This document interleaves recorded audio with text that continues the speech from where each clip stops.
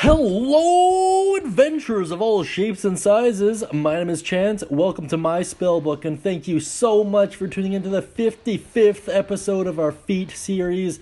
Today, we're going to be taking a look at a racial exclusive found in the Elemental Evil Player's Companion. Super great book. You can download it online. Highly recommend giving it a read through. There's some great spells in there as well that are certainly worth taking a look at.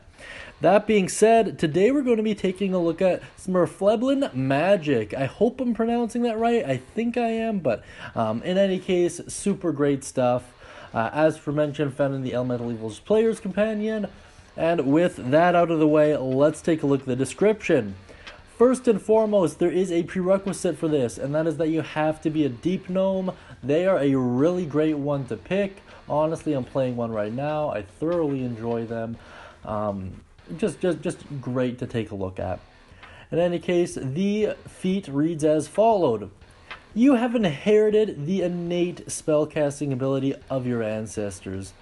This ability allows you to cast non detection on yourself at will without needing any material components. You can also cast each of the following spells once with this ability uh, Blindness, Deafness, Blur, and Disguise Self. You are gaining the ability to cast these spells when you finish a long rest. Intelligence is your spellcasting ability for these spells, and you can cast them at their lowest possible level. Really, really great stuff. Honestly, I kind of like this one in certain builds. I'll get into that a little bit more later. That being said, let's take a look at the walkthrough.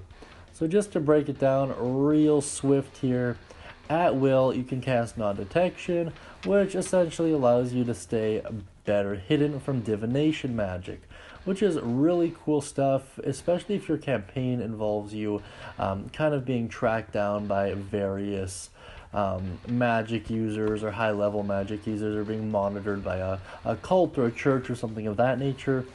Um, blur or blindness slash deafness rather fairly self-explanatory um, you can either blind them or deafen them doing one of each has various effects but they're pretty self-explanatory um, good old Blur imposes disadvantage on attack rolls against you, which is really, really cool stuff there. And Disguise Self allows you to change your shape, or your appearance rather. You still have to remain humanoid, but you can kind of do whatever else in addition to that. So, you know, pretty good stuff. And Intelligence is your spellcasting ability modifier. None of these really need a modifier, but just in case, I guess. I mean, I guess Disguise Self technically does, so, um, in any case, let's get to my personal thoughts on it. I really think this is good for classes that don't inherently get spellcasting. So, uh, some of the fighter archetypes, as well as, or subclasses rather, uh, as well as some of the barbarians could really benefit from this. Um, there's a monk subclass that basically does all this already, so monks don't really gain too much from it.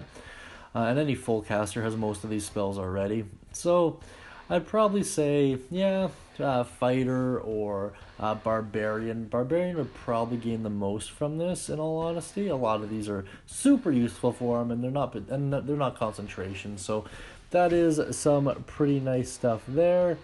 Um, actually, uh, sorry, I totally forgot. Blur is a concentration spell, so maybe Barbarian might not be the best choice circumstantially, but I, I, I really do like it regardless. I think it's a great, great feat to take. It really just adds some more depth to your character. In any case, if you have any uses for it or any uh, fantastic stories or comments, please comment down below. I really appreciate reading them, and I know everyone else does as well. That being said, have a great day, and as always, happy adventuring.